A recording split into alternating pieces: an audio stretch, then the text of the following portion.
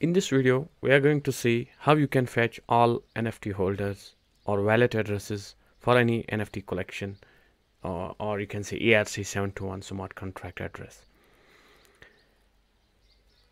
Most of the times we have seen how to get the owner of particular NFT item or uh, by simply using owner of function from the smart contract. But the task here is how you can get all NFT wallet addresses of a particular NFT collection. So in simpler words, you should get all the addresses that own at least one NFT among the collection. Then the second step is to save those things like save those addresses into a text or CSV or JSON file.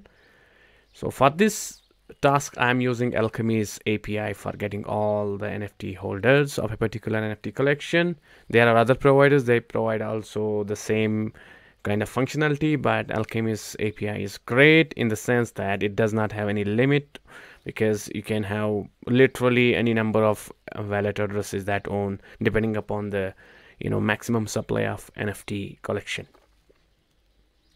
Let us see how you could you know solve this problem. Is simply you have to import some libraries that will help you to fetch those from you know from Alchemy's API or actually they are coming straight away from the blockchain here we are dealing with the Ethereum mainnet so I have imported few libraries like node fetch dot config dot environment just to hide my Alchemy's API. Then you have to prepare fetch request and and for that you require fetch URL and request options. Fetch URL is simply uh, what Alchemy provides. For that you need to have an API key. You can get that from Al Alchemy's platform. Once you have that, then you can just simply run this code that I'm writing here and you can get all the NFT holders of a particular collection. Here I'm trying to use this one, this address. If you see what is inside that, you can simply search this and see how many holders of we have. So we have a token tracker and we have 332 holders. So the task here is to get all these token holders and dump them into a file. Here I'm creating a text file but you can create any file like CSV or JSON right? So for that I'm just using Alchemy's API again.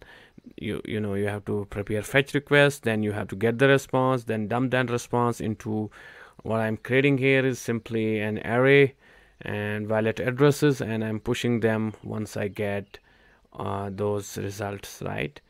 Simply when I get them I push the result into my array and finally I'm calling my function that I have designed for getting owners and inside that uh, what what is important here is that I'm using a you know a library for writing a file. So I'm creating a wallet addresses.txt file and yeah I'm just dumping that result into into that file.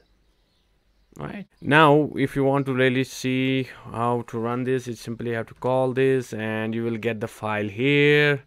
And here we go. We have this file here right?